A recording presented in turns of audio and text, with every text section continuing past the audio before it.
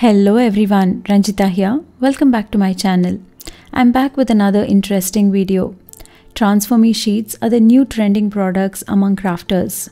You would have seen loads of inspiration and lots of videos all around YouTube showing how to use them on different surfaces like wood, plastic, glass, etc.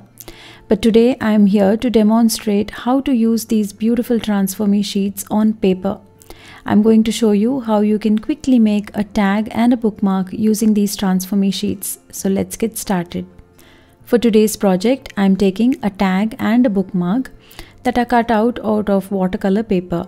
This is 300 GSM cold pressed watercolor paper. Along with that, I also have cutouts of transfer me sheets. And then I'm also taking some cute stamps to just beautify my tag and bookmark, which is completely optional. I also have a cup of clean water and a sponge to dab water onto my transfer me sheets.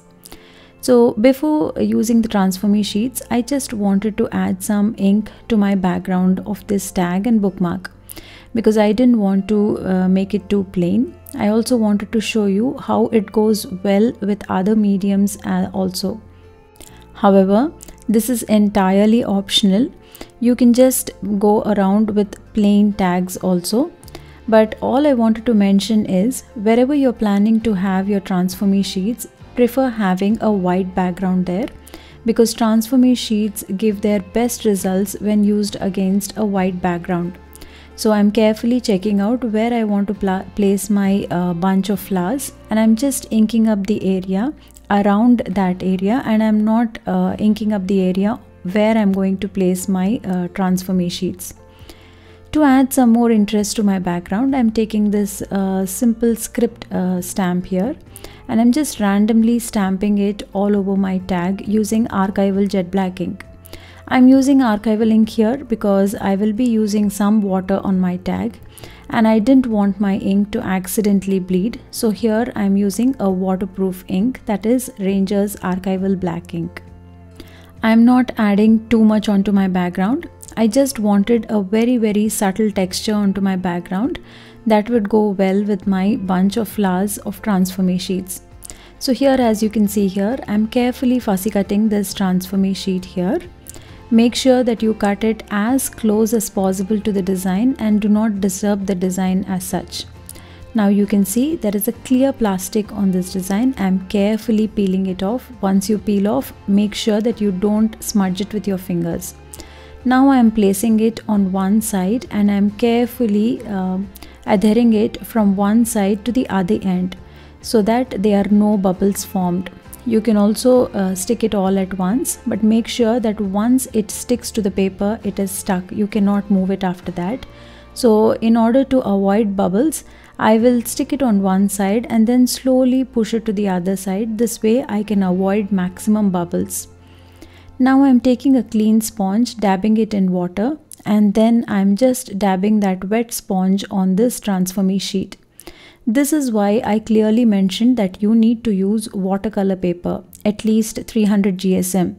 You can also try out this with regular cardstock, but what happens is not all cardstocks are friendly with water.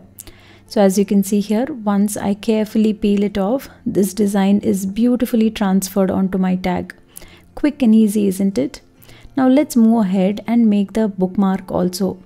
So just like I did for the tag, here also I am just fussy cutting carefully this bunch of red roses here. I'm just making sure that the bunch fits along the width of my bookmark. Once I'm happy with my fussy cutting, I'm just adding a little more interest to my bookmark by stamping a beautiful quote onto it. I'm again using the same archival ink because I wanted a waterproof ink. And I'm making sure that the impression comes well because since it is watercolor paper it is textured and most of the time your impressions don't come well. So I'm pressing it hard enough so that the impressions are well.